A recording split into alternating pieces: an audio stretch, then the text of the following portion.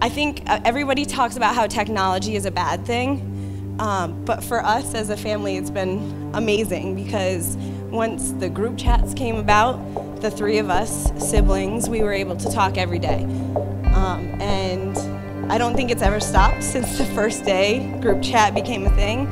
The three of us siblings talk every single day. They're the first text, the last text, and every text in between. And I'll never forget the day that Mikey told us that he met Devon. And it just sounded different. I knew it was different. Um, and it wasn't long after that that he told us Devon was moving in with him.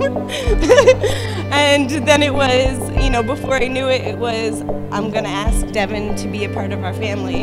Um, are you okay with having her as a sister? And absolutely, because Mikey has always been my moral compass.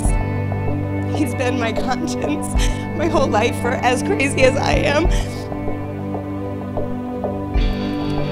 He's the compass that points north. And you haven't changed any of the Mikeyisms, the whoopsies, the shoes on the wrong feet.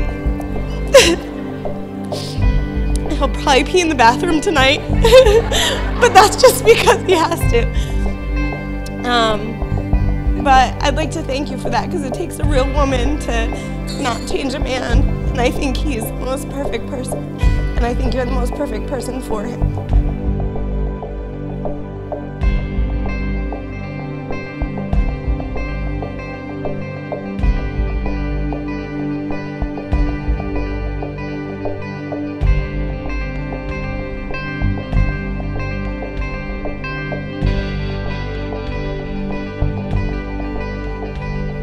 Am her big brother. All joking aside, I, I love you to death, and you know that I would do anything for you. Um,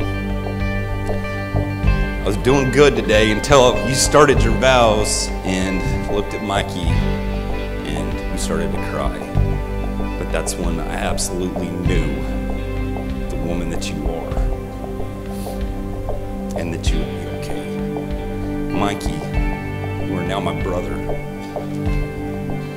You're a great guy when it comes down to it. Take care of my sister and love her to the end